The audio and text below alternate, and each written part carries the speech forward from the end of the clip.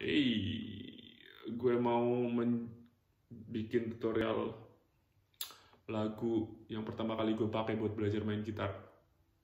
Lagu sejuta, lagu sejuta umat dari rakyat Indonesia. Mungkinkah bila ku bertanya pada bintang-bintang ya. Eh, gue yakin itu lagu adalah lagu lu yang dipakai buat belajar gitar pertama kali. E minor, C, G, D.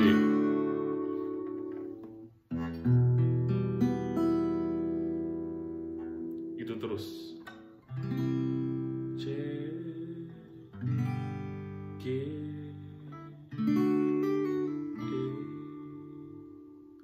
Nah, in tangga nada yang dipakai itu tangga nada E minor.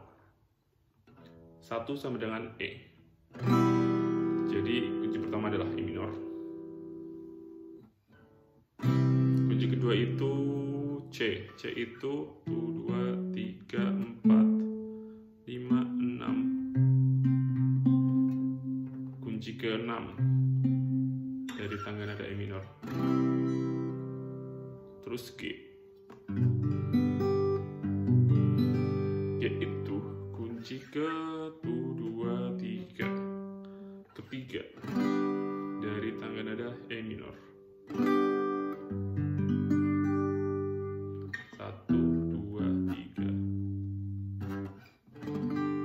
terus D D itu kunci ketujuh dari tangga nada progresi tangga nada E minor tu dua tiga empat lima enam tujuh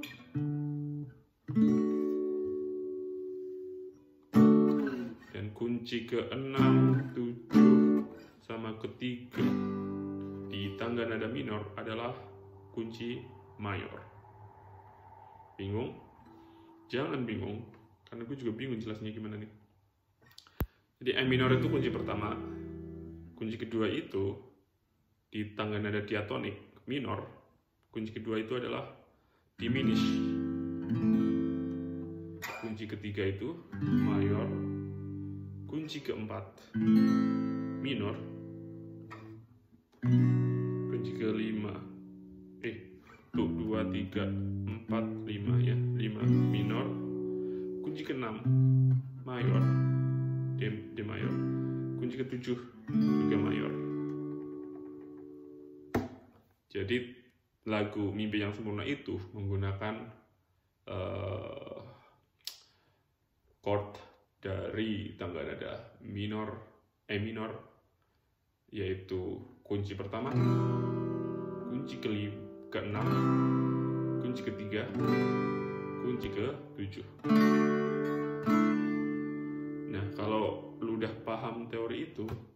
Lagu-lagu pop itu gampang banget. Jadi harus diingat satu sama dengan E minor, dua sama dengan F sharp diminished. Tiga sama dengan G minor. Eh, so, G mayor. Tiga sama dengan, oh, empat sama dengan A minor. Lima sama dengan B minor.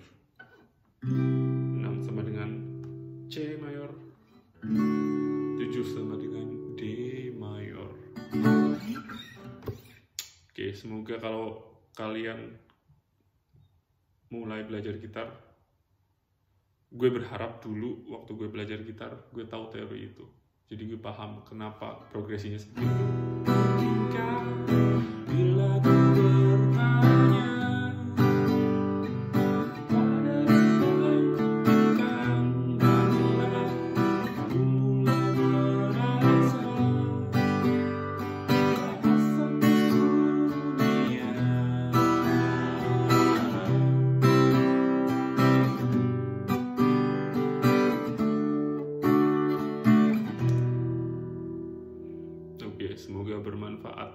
yang baru belajar main gitar. Salam dari Stockholm, selamat lebaran. Bye.